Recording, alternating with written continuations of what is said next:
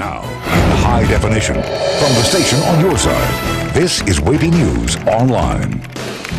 Hey everyone, it is Sunday, May 15th. Thanks for logging on to wavy.com. I'm Katie Collette. And I'm David Culver. In the news this morning, crews will once again would continue their search for a missing boater. The 24-year-old disappeared after a sailboat overturned in the James River around midnight Friday. Ten friends left a party late Thursday night and boarded the 22-foot sailboat. Somehow, the vessel capsized. Five people swam several miles to shore. Crews rescued four others from the water, but one young man is still missing. Officials say they will not release his name until they're able to find him. While the cause of the accident is under investigation, officials say the boat may have been overloaded.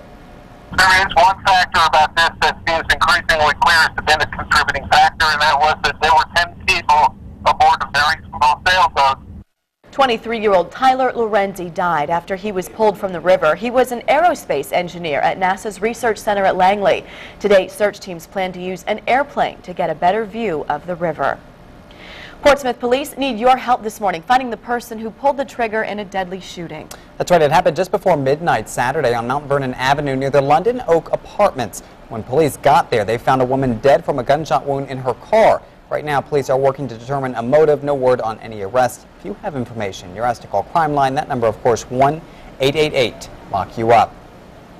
Amazing air power is flying in the skies above Hampton Roads.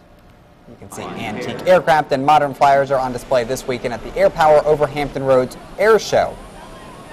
It's all happening this weekend at Langley Air Force Base in Hampton. Folks are getting an up-close look at planes and jets, all the while enjoying the high-flying action. 10 on Your Side caught up with people Saturday and asked them what they love most about the experience enjoying the wonderful weather and taking advantage of an air show here. Uh, just once a year opportunity to come out and watch history in motion and be patriotic.